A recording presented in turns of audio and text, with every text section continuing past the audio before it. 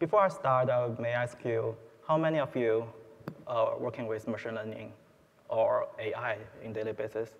Uh, great. So I don't have to explain some basics of machine learning.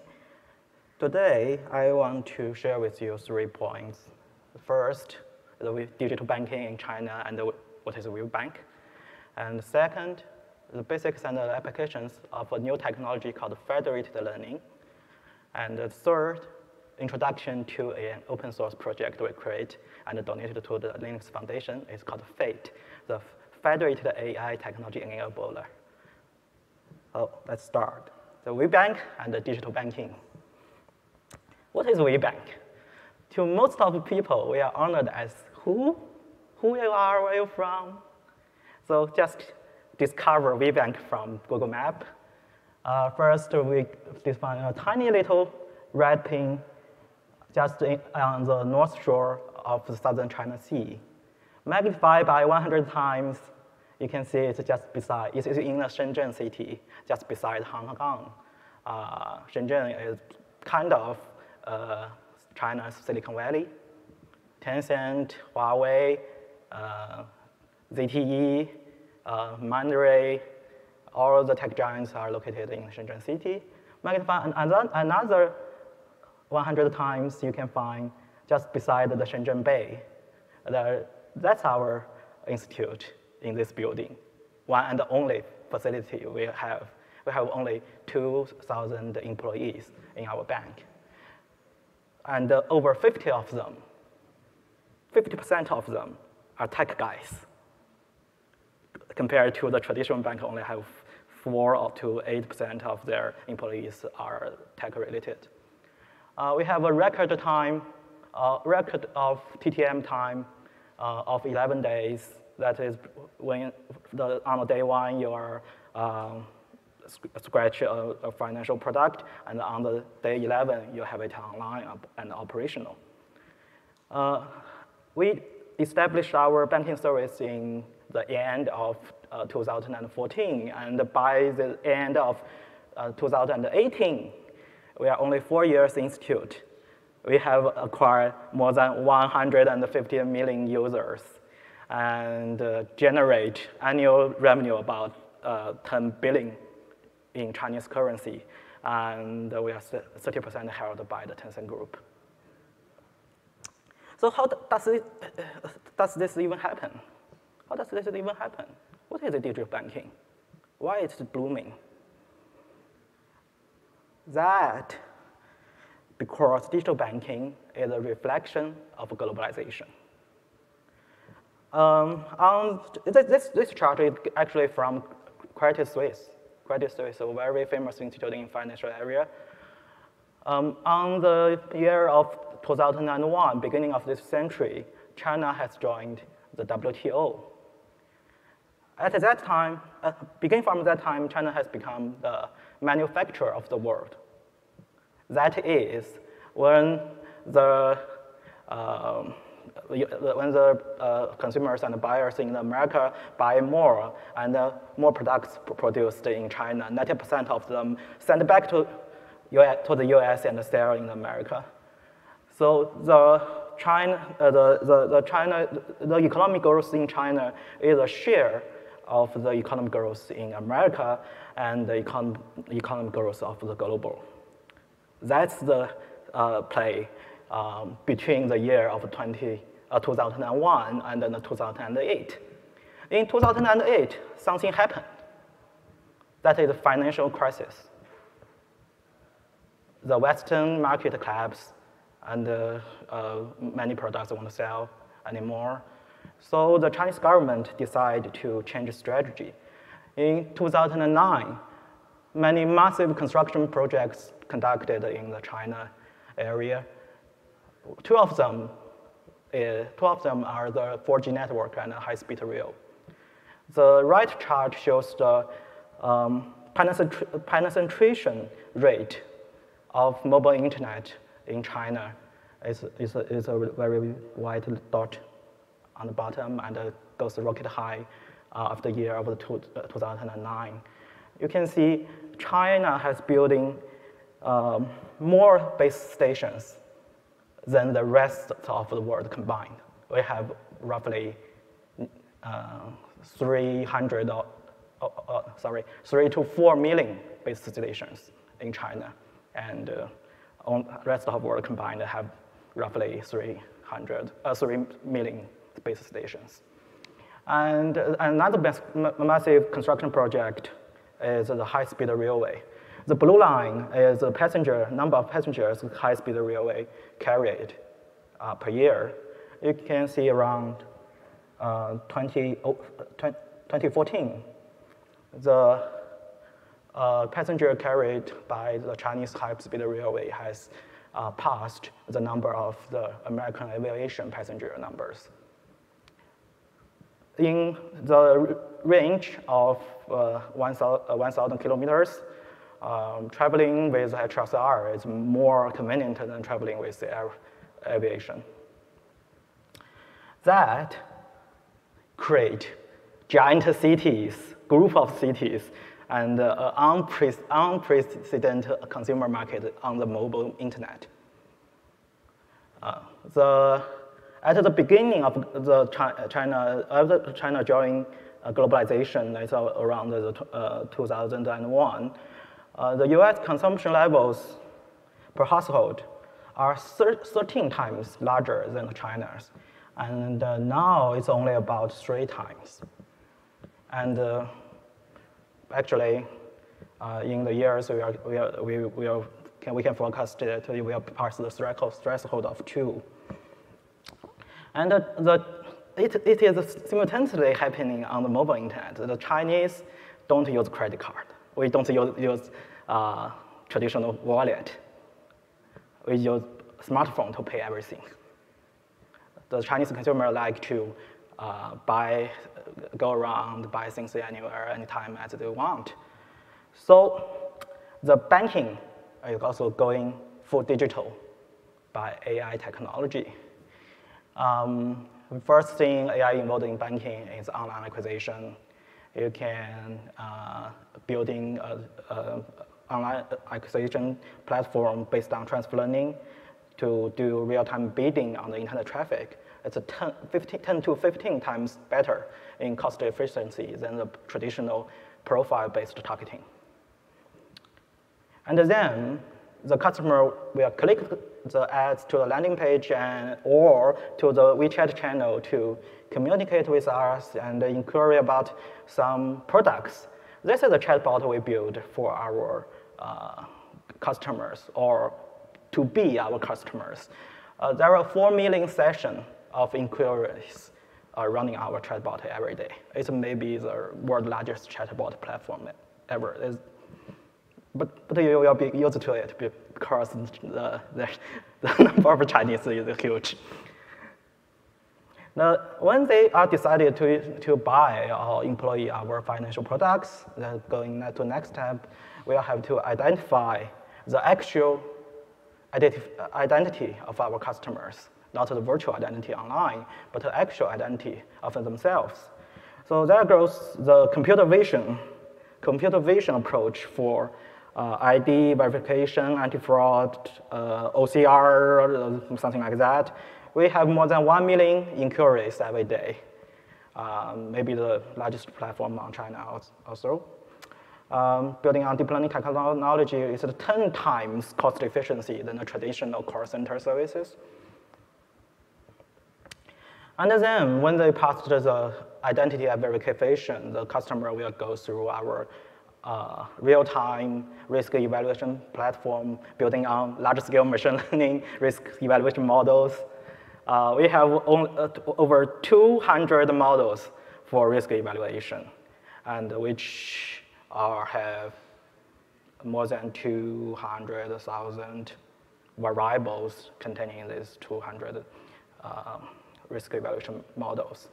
It, it have uh, three times more cost efficiency in the risk management compared to the traditional scorecard. Scorecard is, you can see in the perspective of machine learning, it's a very small scale regression. Um, containing only 10 to 12, uh, 10 to 20 variables.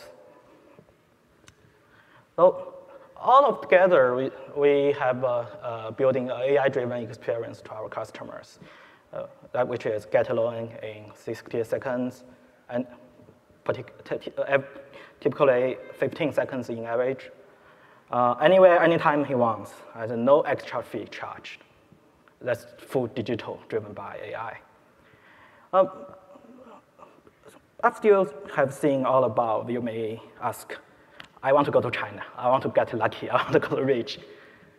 But forget it. The party will be over soon because the data protection, we can call it the data protectionism, is coming. That's the uh, timeline of GDPR. You can see uh, it was firstly introduced in uh, 2012, and unlike other uh, European agenda, the GDPR has a rocket speed to passing the European Parliament process. And in the year of uh, 20, uh, 2015, uh, it has uh, it, it, all the three parliament has council, all the three major councils has agreed agreement on these regulations. so from the year roughly about 2010 uh, to 2014, every year, a famous consulting company called uh, Gartner is talking about uh, big data all over again. But in the 2015, the big data technology suddenly vanished from their technology hype map uh, the reason the Gartner, the reason that Gartner gave is uh, they think big data uh, will be everywhere and uh, embedded in every technology. So it's not an indivi uh, individual technology anymore. But the real reason for that is this, because the GDPR has passed the European Parliament process and will be carried out in the coming two or three years, which is in uh, the 2018, you can see many uh, corporations are, are fined with the GDPR and cost them, uh, uh, charge them a great deal of dollars. But it's not over again. Uh, the data regulations is more strict and severe in China. Because in the European or in the California or in the US, the data leaking of uh, user data, uh, the, the user data, data leaking is a corporate offensive. It's not punishable by individuals. But in China, data leaking is a felony. There is a, one individual, one natural person in a corporation responsible for protection data. One day, once once the data is leaked, it will be punishable up to seven years in prison. I think it's felony in China. So you cannot uh, exchange data or you cannot buy data. It's very risky and dangerous behavior. So without data, there is no digital banking. There is no digital banking AI. So we built this technology called federated learning comes to rescue. This technology allows us to build models without moving actual data from multiple parties. Um, it, it, doesn't exchange any raw data or encryption format of raw data. Uh, it only exchange uh, some, um, meet, uh, some, some, encryption format of uh, gradients, um, something like that. Um, so, and, and, and you can back engineering any data from it. So, so that, that's pretty so part of the regulation problem because no actual user data is leaked uh, during the process. Uh, it can be used uh, in many applications in banking or even not banking business can utilize this, this technology as, as healthcare research, uh, medications, um, we have built uh, several uh, network um, on, you, you, can see it on the upper left right. We built a network between uh, banks to create more anti-money laundering models, and the banks don't have to share their user data. And we created a network between the internet companies and the insurance companies to get more accuracy of pricing. And uh, something like that, there's a lot more. So we come to the second uh, session uh, we, we, want to share, share you with. That is the basics and applications of federated learning. Federated learning is first introduced by Google in 2017, I think. They introduced this technology to prevent um, the uh, to prove that the Android has, uh, has protected has protected the user's privacy. Uh, it was used on the Gboard. That's the input method you're using on the uh, Android. It has a tiny little function that uh, every time you're typing a, a key strike on the Gboard, he will suggest you a word this model is, is trained and trained based on the input sequence uh, and the correction, sequence the user actually input. So it's totally private. But uh, with the technology of federated learning, you can uh, utilizing the data collected, collected from millions of cell phones uh, without actually collecting them to the cloud. The model is trained locally on the device. And uh, no actual data is, is transferred to the, uh, is transmitted to the uh, data center. But this technology is only an incremental uh, up upgradation of uh, distributed learning. It has many constraints, such as each party must have the same feature space. If you, have, you want to do some collaborations between different uh, country, uh, different companies, they, they, they do, should have different business. Um, this technology will, uh, will not apply because they don't have the same feature space. Oh, we extended the uh, concept of federated learning.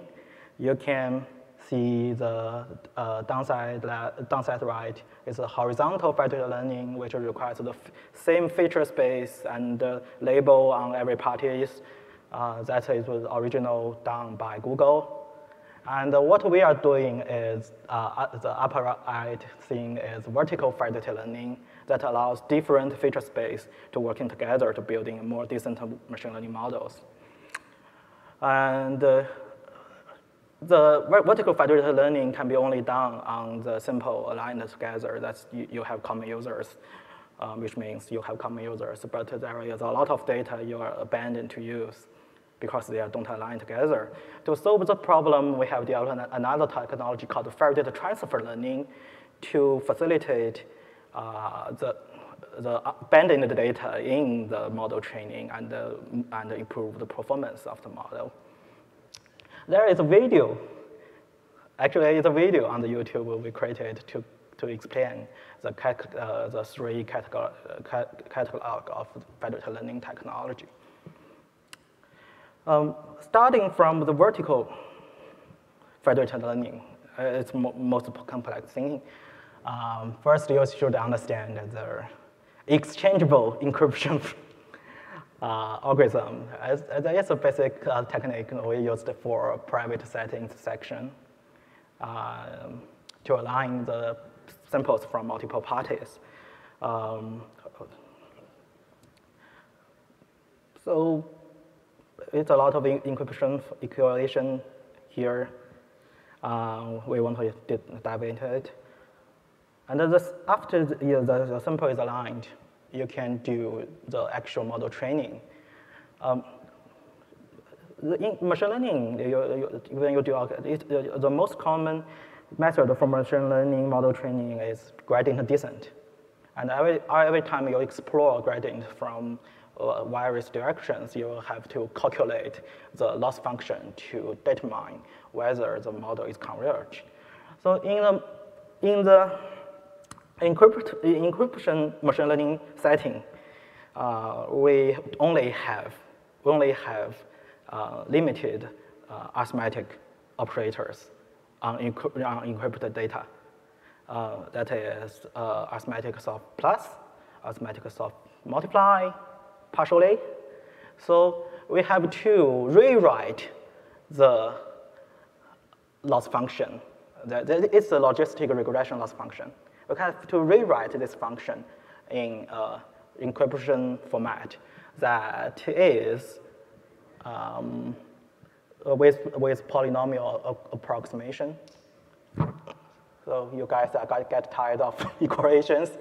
Don't worry, we have 50 pages of equation come up with. I'm just kidding. So during this process, uh, only some of the encryption uh, mediated data is, is exchanged between parties. No raw data or the raw data uh, encryption format of raw data is uh, transferred. But uh, compared to some, some technology, um, for example, uh, the differential privacy, you can differential, you can put some noise in one database and move to another party to join them together to build a new model. But the risk is still there. The risk is still there. The data you move, you move contain all the information that is private. And if your method can be back engineered, uh, it have a high risk of exposing all the, the entire database. And the federated learning only exchange some need to know information in machine learning process and in encryption format. So even if you can back engineered or decrypt the mediator data, you still cannot not uh, back engineer the raw data. It's have two or three layers of protection. Use cases, we are a bank. So our, most of our use cases are loans, credit estimation. Um, the uh, ideal big data for this estimation of SME loans are showing on the right-hand side. You have all the data you have uh, to describe uh, the actual state of a small business. That is the credit report, the finance, the tax, the, their reputation, and the, the, if they have any legal, legal suit. But in reality, it's more like the, uh, the right-hand side. It, you only have some blank credit report from central banks. It's not far from enough to describe the credit of a small business. So we get creative. Uh, we build a federated model between the digital invoice data and the, the credit report data. Um, digital invoice is uh, some kind of a China, uh, China thing, I think. Uh, because in the US, the invoices are printed by different institutes, but in China, there is a backend to authenticate all the invoice. So, so they collect all the invoice data, but they can't share or expose to the third party because it's a national security matter. But we use federated learning to utilize this data, and in the result, the model accuracy move up to 12%, uh, and after months of trial, um, the, the cases of bad loans has down by 40%. There is also other applications we are trying to build with federated learning. You can uh, not only use uh, using the vertical, uh, vertical federated learning between the two parties, you can also apply uh, horizontal federated learning simultaneously that create a network. And you can, it's not just for big data or large scale machine learning. You can also use it in deep learning that we build a, a deep learning federated network between uh, um, computer vision customers. That's, uh, that's something we are sharing on our YouTube channel. So that's basics and applications of the federated technology. Now, now we are moving to uh, the project. the federated AI technology enabler. The vision of federated AI technology enabler is provide industrial level federated learning framework with out-of-box usability. We'll explain it step by step and enable big data collaborations with data protection regulation compliance. That's our GitHub, and that's our website, fedai.org. You can find all our resources on this website. The roadmap of this year, or the roadmap we have, uh, is like, like we, uh, until now, we still stick to this roadmap. We, at the end of January, the beginning of the February, we declare the project on the triple, uh, triple AI conference in Hawaii this year. And uh, the, main, main, the major components we released on uh, version 0.1 is federated machine learning toolkit. It's the algorithm uh, components, uh, core algorithm components. And uh, on the March, I think we just reached, uh, reached the 100 GitHub stars. Uh, and the first contributor outside WeBank has appeared to prove our stability. And uh, on the 2 point, oh, on, on the 0.2 version in May, we released Fate Serving, the first ver version of Fate Serving. You can deploy your federated model online and do online inference. And uh, in the June of 20, uh, in the June, we donated this project to Linux Foundation, and uh, it became a public governance project. And in this month, uh, for specific, today, we announced the 1.0 version of Fate. It contains uh, very important uh, features like uh, Fate Flow, similar to Kubeflow, and uh, the Fate board, the dashboard of federated learning. We are visualizing everything about federated learning. And we are planning to release the next version, uh, 1.1, in the September. In end of September, it will introduce secret sharing, uh, the new protocol uh, for federated learning. Um, at the end of the year, we will fully, uh, fully uh, support deep learning model um, because the, uh, at the, now we only support several um, kind of deep learning model, not all of them. That's a project landscape. Uh, I want to dive into specifications, um, but it's too complex to explain. The core component is the federated ML. It have four layers from MPC protocol to numeric operators, machine learning operators, and you combine this together to get a federated machine learning uh, workflow. A typical pipeline of uh, model training process is uh, this. It's covered well by the federated MLlib. And uh, to run this pipeline, you have to employ Fateflow. Um, unlike uh, many other uh, projects like Kubeflow, it only provide uh, flow that's running in uh, Data Central. But uh, in the federated learning process, there's a multi-party thing. You have to arrange and coordinate the training process ac across different sites. So the core of Fateflow is federated task scheduler. Actually, text, federated task scheduler from different sites are linked together. After you train a federated model, you need to put it into service uh, because um, in many settings, like vertical federated learning, you don't have the whole models. You, don't have, you, you only have partial of the models. It's called submodels. So all the submodels must, must be putting online um, simultaneously.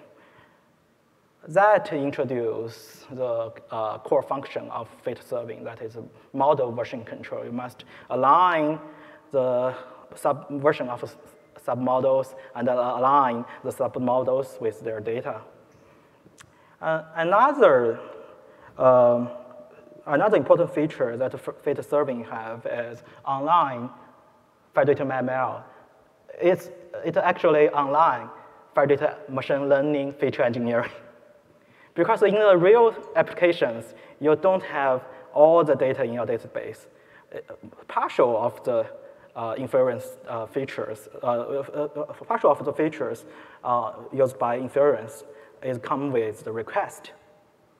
So you have to doing online feature engineering to transform this request data to the features that the model can accept. That is online feature engineering. If you don't have this, you will have um, to hardcore the, the, this component, uh, but hardcode this, this component, but it will have slightly uh, performance difference between the online um, inference and your uh, offline evaluation because the difference in the online uh, feature engineering model. There comes the um, most uh, popular uh, components of the Federated, of, of the FATE is the FATE da dashboard. Because the federated learning technology is new and maybe complex in management, so the FATE dashboard solved it all. We have, you can see, you can monitoring every, every model processing, modeling processing, the uh, graph of model construction, the evaluating of features, and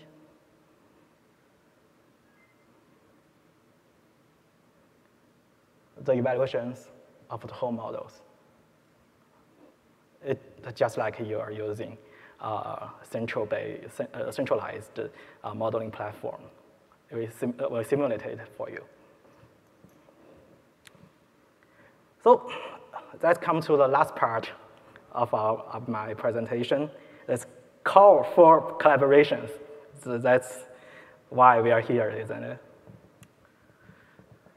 So we, we will introduce several collaborations under the Linux Foundation. We have already begun. The one and the most important is uh, we collaborated with CNCF project called Harbor that allows us to deploy on the Kubernetes uh, smoothly. And we are also uh, looking at the projects like Kubeflow because it's also a flow manager for machine learning. Um, the Harbor project uh, is um, originated from China. It's developed by the VM, VMware China uh, team, and it's phenomenal. It has thousands of users uh, they are very warm-hearted. You, you, you, guys should meet them. And uh, another project I want to mention is the Angel uh, machine. Uh, it's a full stack, correct, correct me. It's a full stack uh, machine learning platform originated from the Tencent group. It, it's stable, it's beautiful, it's powerful, it has millions of users and uh, can process petabytes of data. Uh, we are testing their technologies such like parameter servers and arithmetic labs. So again, I bring up our, our website. Everything we are sharing on our website is um, fedai.org. And there is some more materials for you. Our website URLs, our GitHub URLs. We also have a IEEE standard to bring different implementation, implementation of federated learning together so the different software can talk to each other. And uh, we also have a YouTube, YouTube channel they have very interesting videos about federated learning and all the uh, applications you are doing with your federated learning. Uh, it's not only banking, it, uh, it's about the urban management, urban building, various of things.